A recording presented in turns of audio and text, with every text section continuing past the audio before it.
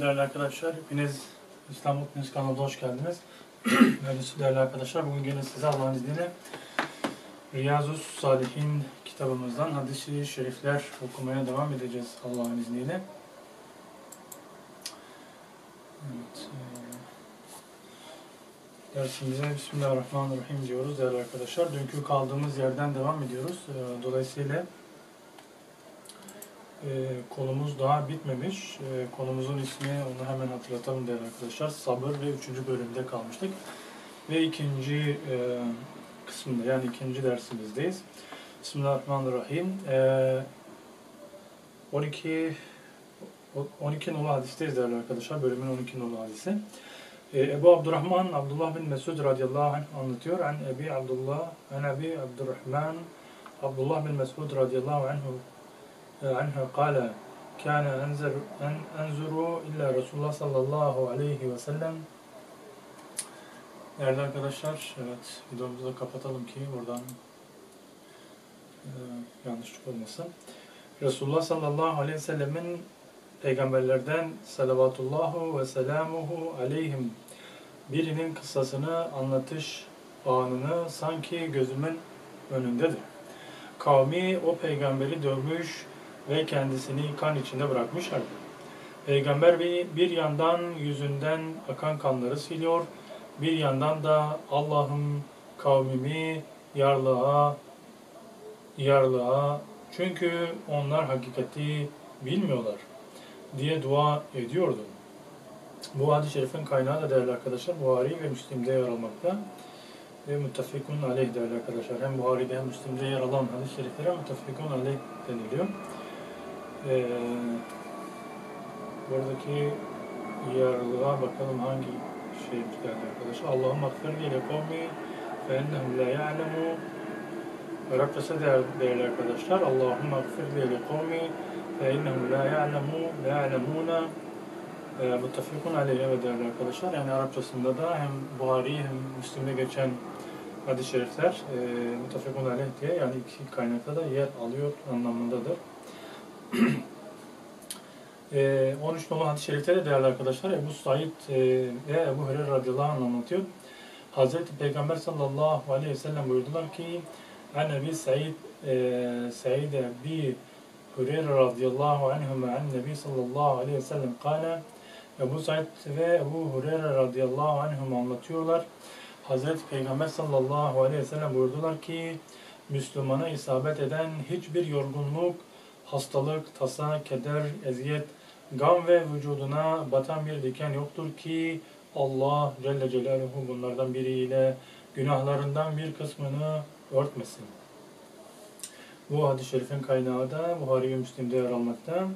WhatsApp değerli arkadaşlar e, hastalık demektir e, anlam olarak. Evet. E, bir sonraki hadis-i şerifte de değerli arkadaşlar.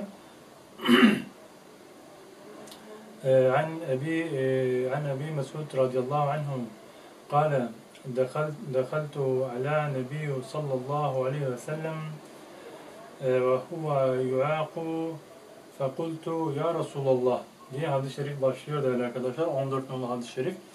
İbni Mesud radıyallahu anh anlatıyor. Hazreti Peygamber sallallahu aleyhi ve sellem sıtmaya yakalanmışken yanına girdim. Ya Resulallah oldukça şiddetli bir sıtmaya yakalanmışsın. Evet, öyle. Ee,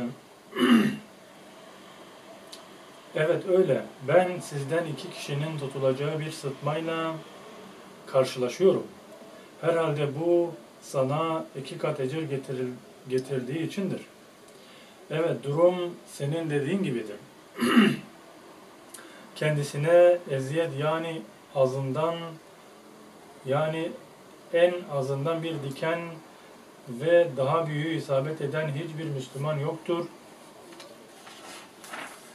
Yoktur ki Allah Celle Celaluhu o sebeple kötülüklerini örtmesin. Ve ağaç yaprakları döktüğü gibi günahları dökülmesin. Bu hadis-i şerifin kaynağı değerli arkadaşlar Buhari ve Müslim'de yer almakta.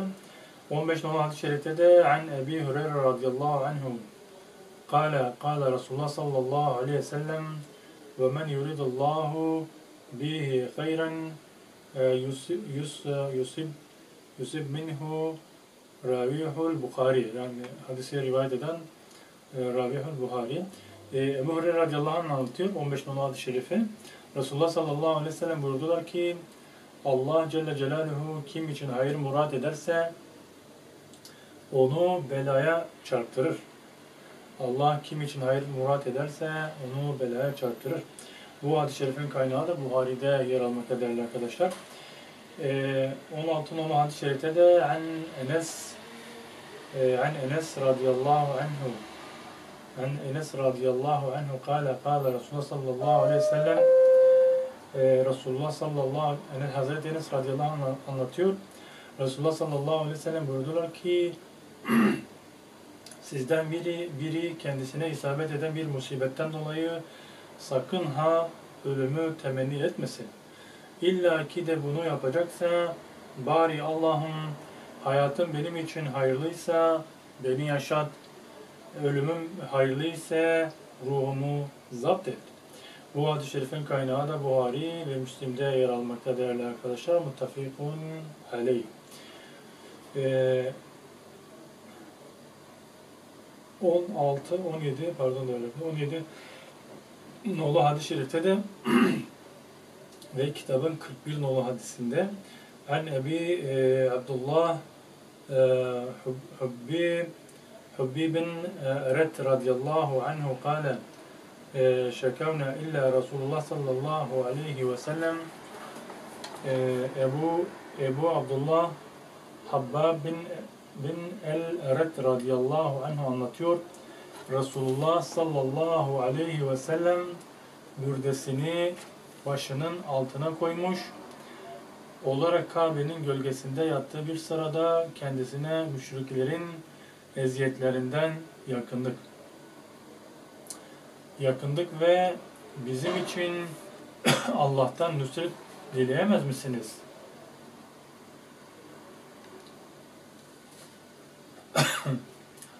Bizim için e, Allah'tan nusret dileyemez misiniz? Bizim için dua buyur, buyurmaz mısınız dedik. Bunun üzerine Resulullah sallallahu aleyhi ve sellem şöyle buyurdular. Sizden önceki ümmetlerde iman eden kişi yakalanır, kendisi için yerde bir çukur kazılır ve buraya gömülürdü. Sonra bir testere getirilip başının tepesine konularak başı ikiye yarılırdı. Demir tarakla, demir tarakla da etinin ve kemiğinin altı taranırdı. Taranırdı da bütün bunlar onu dininden döndüremezdi. Vallahi Allah Celle Celaluhu bu işi, dinini mutlaka tamamlayacaktır. Öyle ki bir süvari tek başına Sana'dan Hadra, Hadramevt'e kadar yolunu devam edecek. Hadra'dan Hadra, Hadra, Hadramevt'e kadar yani Sana'dan Hadramevt'e kadar yolunu yoluna devam edecek. Allah Celle Celaluhu'dan koyuna kurt saldırmasından başka hiçbir şeyden korkmayacak. Fakat siz acele ediyorsunuz. Öyle ki bir süvari tek başına Sana'dan Hadramet'e kadar yolunu devam edecek. Allah Celle Celaluhu'dan ve koyunu, koyuna kurt saldırmasından başka hiçbir şeyden korkmayacak. Fakat siz acele ediyorsunuz. Bu hadis-i şerifin kaynağı da Buhari'de yer almakta. Bir rivayette de değerli takipçilerimiz müşriklerle karşılaştığımız güçlükler sırasında güçlüklerle karşılaştığımız müşriklerle karşılaştığımız güçlükler sırasında burdesini burdesini yastık edilmiş olarak şeklinde gelmiştir değerli arkadaşlar. 18 nolu hadis-i şerifte de ve kitabın 42 nolu hadisi عن عن ابن مسعود رضي الله عنه قال لما كان يوم حنين أسر أسر رسول الله صلى الله عليه وسلم İbn Mesud radıyallahu anh anlatıyor.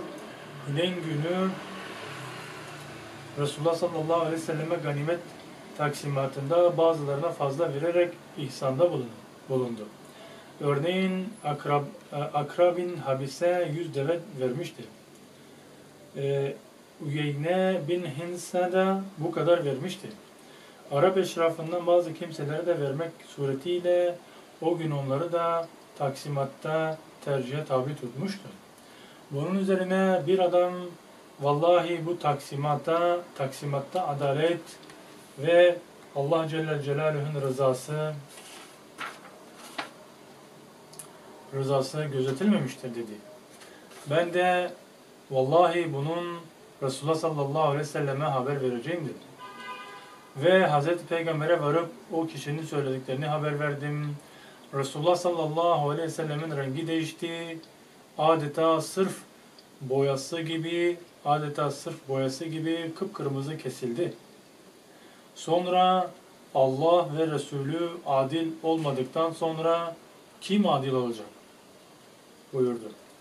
Daha sonra da Allah Celle Celaluhu Musa peygambere rahmet eylesin. O bundan daha çok ezaya maruz kaldı da sabretti buyurdu. Bunun üzerine ben şüphesiz bundan böyle ben hiçbir sözü ona iletmeyeceğim dedim. Bu hadis-i şerifin kaynağı değerli arkadaşlar Buhari ve Müslim'de yer almakta. Ee, es sırf Sad'ın kesresiyle kırmızı boya anlamındadır. 19 nolu 19 nolu hadis-i şerifte de e, an Enes radıyallahu anhu kâle kâle Resulullah sallallahu aleyhi ve sellem e, Hazreti Enes radıyallahu anh anlatıyor. E, Resulullah sallallahu aleyhi ve sellem buyurdular ki Allah Celle Celaluhu bir kuluna hayır murad ettiği zaman dünyada cezasını çabucak verir Allah Celle, Celle Celaluhu bir kuluna şer murat ettiği zaman ise günahı sebebiyle onu bekletir. Nihayet kıyamet günü gelince onu eksiksiz olarak günahıyla karşı karşıya bırakır. Ve yine Hz. Peygamber sallallahu aleyhi ve sellem buyururlar, buyurdular. Mükafatın büyüğü belanın büyüklüğüyle orantılıdır. Allahu Teala bir kavmi sevdiği zaman onları imtihan eder. Kim kaderine kim kaderine rıza gösterirse onun için rızayı ilahi vardır.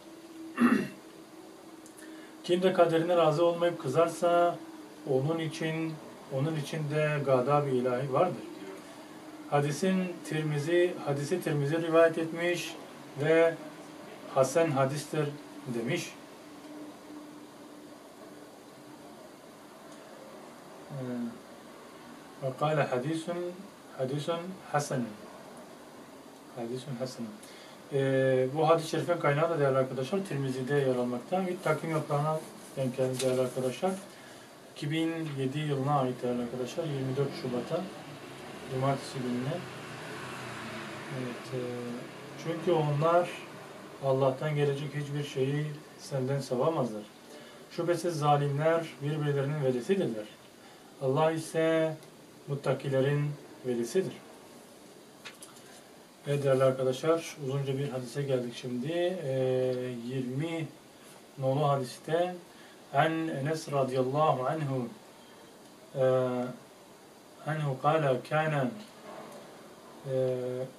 kâne kâne kâne ibnun lebi talha kâne kâne kâne ibne El-Ebi Talha radıyallahu anhu diye de hadis devam ediyor arkadaşlar.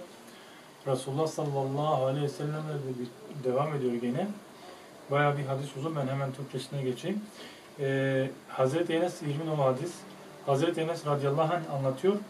Ebu Talha radıyallahu anh, anhu Ebu Talha radıyallahu anhu anhu'nun hasta olduğu hasta bir oğlu vardı. Ebu Talha evden çıktığı sırada çocuk ölmüştü. Ebu Talha eve dönünce oğlum nasıl diye sordu. Çocuğun annesi Ümmü Süleym öncekinden daha sakin dedi. Ve ona akşam yemeğini getirdi. Yemeğini yedi. Sonra eşine yaklaştı. İşini bitirince eşi Ümmü Süleym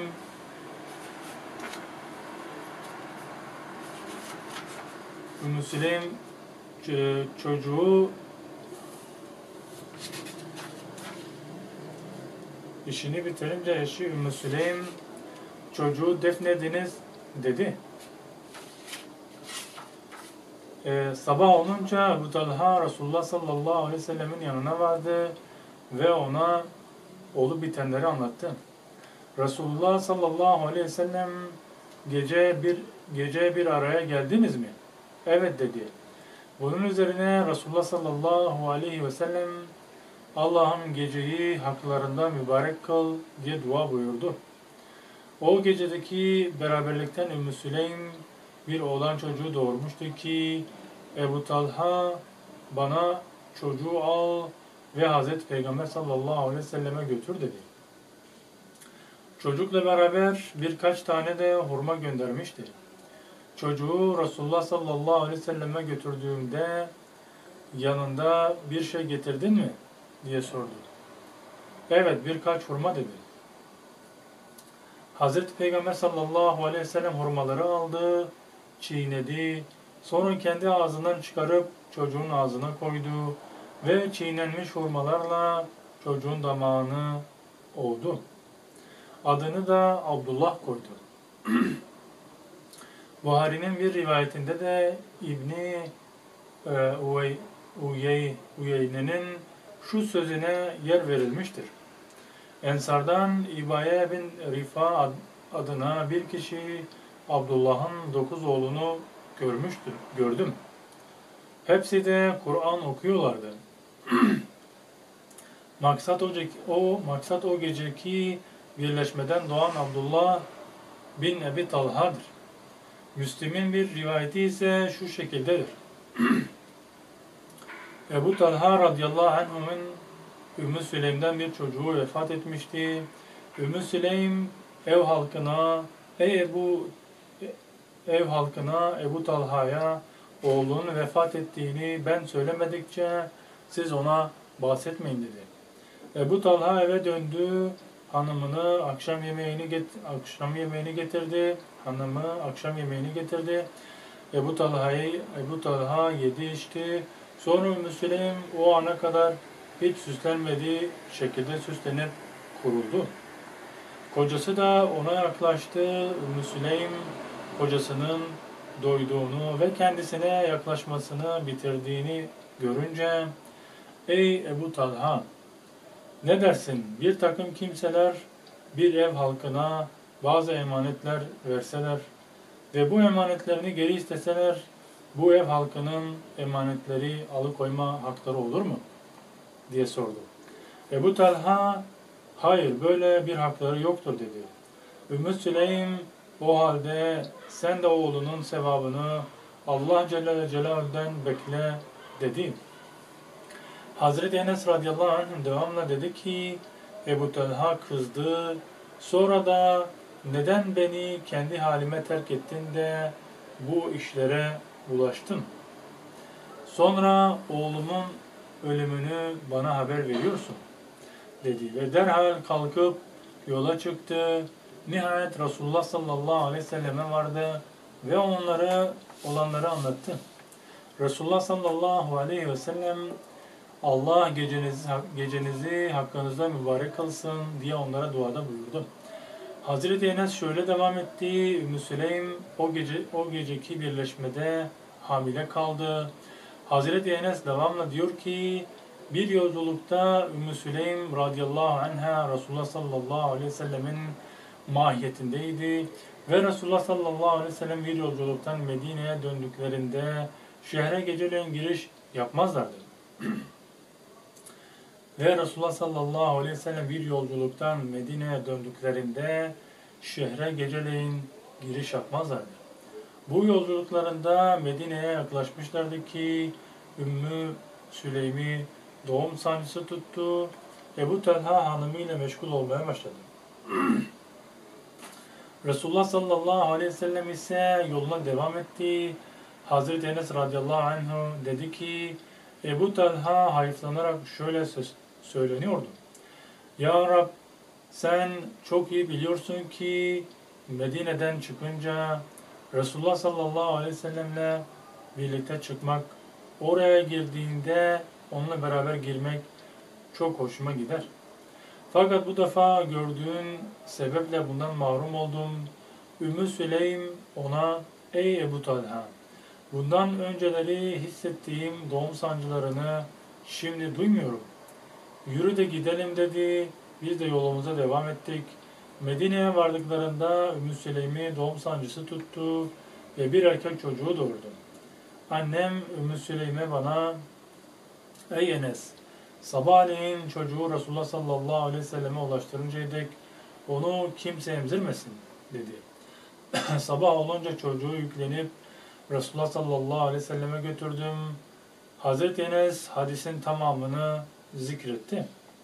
Bu hadis-i şerifin kaynağı değerli arkadaşlar Buhari ve Müslim'de geçmekte. Muttafikun aleyh bu hadis-i şerifte. Ee, 21 nolu hadis-i şerifte de en Ebi Hureyre radıyallahu anhu Ene Resulullah sallallahu aleyhi ve sellem kâle Ebu Hureyre radıyallahu anh anlatıyor. Resulullah sallallahu aleyhi ve sellem buyurdular ki güçlü kimse güreşte yenen değildir. Asıl güçlü kızgınlık anında nefsine malik olandır. Bu hadis-i şerifin kaynağı değerli arkadaşlar Buhari ve Müslim'de yer almakta. Ee, sura Sad'ın zammesi ve Ra'nın fethası ile bu kelimeyi Araplar insanlarla çok güreş eden kimseler için kullanırlar. Ee, 22 nolu hadis-i şerifte değerli arkadaşlar. Ee, an e, Süleyman bin e, عن سليمان بن سورة رضي الله عنه قال آه، كنت آه، جالس آه، مع النبي صلى الله عليه وسلم 22 nolu hadis-i şerifte de Süleyman bin Süret radıyallahu anh anlatıyor. Bir defasında Hazreti Peygamber sallallahu aleyhi ve sellemle birlikte oturmuştu. O sırada iki kişi sövüşüyorlardı. Sövüşüyorlardı. Bunlardan birinin yüzü kıpkırmızı olmuş, damarları şişmişti. Resulullah sallallahu aleyhi ve sellem şüphesiz ben bir söz biliyorum ki eğer şu kızgın adam onu söylese kendisinde bulunan kızgınlık ondan gider. Eğer o auzu billahi mineşşeytanirracim derse kendisinde bulunan bu hal gidiverir buyurdu. Bunun üzerine ashab kızgın adama Hazreti Peygamber sallallahu aleyhi ve sellem buyuruyor taşlanmış şeytandan Allah'a Allah Celle Celaluhu'ya sığın dediler. Bu hadis-i şerifin kaynağı da Ebu Davud ve Tirmizi'de yer almakta. قال تعوذ بالله من الشيطان الرجيم Kale auzu billahi mineşşeytanirracim. Demek ki kızgınlık anında bunu söylemek gerekiyor değerli arkadaşlar. O kızgınlığı da gider diyor. Allah Resulü sallallahu aleyhi ve sellem. Ee, 23 nolu hadis-i şerifte de değerli arkadaşlar e, e, an Enes radıyallahu anh an e, Muaz bin Enes radıyallahu anhu ene, Resul- ene Nebi sallallahu aleyhi ve sellem kale e, Muaz bin Enes radıyallahu anh anlatıyor e, Hazreti Peygamber sallallahu aleyhi ve sellem buyurdular ki her kim tat, tatbikine kadir olduğu halde öfkesini yenerse Allahu Subhan Allahu Subhanahu onu kıyamet gününde mahlukatın huzurunda çağırır ve huri huri'i inden dilediğini seçme konusunda onu serbest bırakır. E, hadisi Ebu Davud ile bu hadis Hasendir demek kaydıyla Tirmizi rivayet etmişlerdir. Hadis-i şerifin kaynağı Ebu Davud ve Tirmizi değerli arkadaşlar. Ee, 24 nolu hadis-i şerifte de değerli arkadaşlar 48 nolu hadis yani bölümün 24 nolu hadisi kitabın 48 nolu hadisi an Ebi Hureyre radıyallahu anhu ene raculen kâle nebiyyü sallallahu aleyhi ve sellem Ebu Hureyre radıyallahu anh anlatıyor bir kişi Hazreti Peygamber sallallahu aleyhi ve selleme Ya Resulallah bana öğüt ver dedi. Kızma buyurdu. La tag la tagda. La tagda. Kızma buyurdu. Adam birkaç kez bunu adam birkaç kez bu isteğini tekrar etti. O yine la tagdab dedi değerli arkadaşlar. La tagdab. Yani e, o yine kızma buyurdu değerli arkadaşlar. Allah Resulü sallallahu aleyhi ve sellem. Bu hadis-i şerifin kaynağı da Buhari'de yer almakta. E, 25 nolu hadis-i şerifte de ve 49 nolu bölümün 49'u Ebu Hureyre radıyallahu anh anlatıyor. Resulullah sallallahu aleyhi ve sellem buyurdular ki mümin olan erkek ve kadına, kadının canına, çocuğuna ve malına sürekli bela iner ve bu sayede günahsız olarak Allahu Teala varır. Hadis-i şerifi Hasan Tirmizi Hasan sahihtir kaydıyla rivayet etmiştir. Hadis-i şerifin kaynağı da Tirmizi'de yer almakta. Ee, 26 nolu hadis-i şerifte de değerli arkadaşlar. En İbni Abbas radıyallahu anh ve kâle kadimu uyeynehu uyeynetu bin hasni fenezele fenezele ala alevni diye hadis-i şerif devam ediyor değerli arkadaşlar. Aleykümselam. Ee, İbni Abbas radıyallahu anh anlatıyor. Uyeyne bin Hasan Medine'ye geldi ve kardeşinin oğlu Hur bin Kays'a konuk oldu. Hur bin Kays Hazreti Ömer radıyallahu anh Hazreti Ömer radıyallahu anh'ın yakınlık gösterdiği zevattan biriydi. Kurralar genç, yaşlı Hazreti Ömer radıyallahu anh'ın anh'ın meclis ve müşavere arkadaşları idiler. Üveyne'ye, Üveyne'ye, Üveyne yeğenine, ey kardeşimin oğlu, senin bu emir nezdinde itibarın vardır. Senin bu emir nezdinde itibarın vardır. Huzuruna çıkmam için izin iste de izin iste dedi. O da izin o da izin istedi. Hazreti Ömer radıyallahu anh de kendisine izin verdi. Uyeyne Hazreti Ömer'in huzuruna varınca ey Hattab'ın oğlu kendine çeki düzen ver. Vallahi sen vallahi sen bize bolca Alo efendim, efendim, efendim, efendim. Ha ha, evet.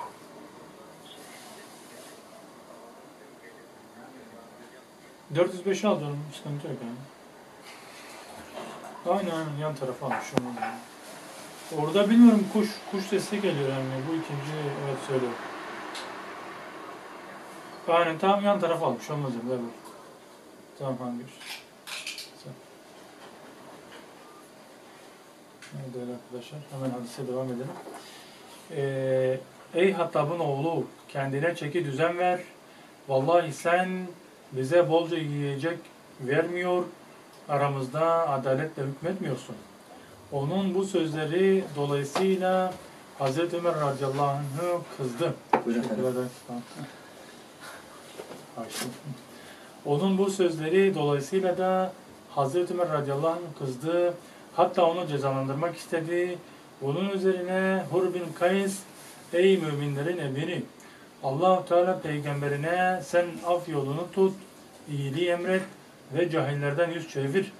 Araf 198 buy- buyurmuştur. Bu da cahillerdendir dedi. Vallahi Hır bin Kays bu ayeti okuyunca Hazreti Ömer radıyallahu anh ayeti aşıp da onu cezalandırır, cezalandırmadı. Aşıp da onu cezalandırmadı. Hazreti Ömer Allahu Teala'nın kitabı önünde durdu. Ona muhalefet önünde dururdu. Ona muhalefet etmezdi. Bu hadis-i şerifin kaynağı değerli arkadaşlar e, Buhari'de geçmekte. Videomuzu burada sonlandırıyoruz değerli arkadaşlar. E, Subhaneke Allahumma ve bihamdike la ilahe illa ente estağfiruke ve etûbü ileyk. Evet görüyorsunuz değerli arkadaşlar yani bir yerde ayet hadis okunduğu zaman kişi orada durması gerekiyor. Allah ve Resulüne saygıdan dolayı yani karşıdaki ne kadar da saygısızlık etse e, ayet ve hadis okunduğunda durmak gerekiyor değerli arkadaşlar. Selamun aleyhi ve. Elhamdülillahi Rabbil alemin. Allah hepsinden razı olsun. Amin.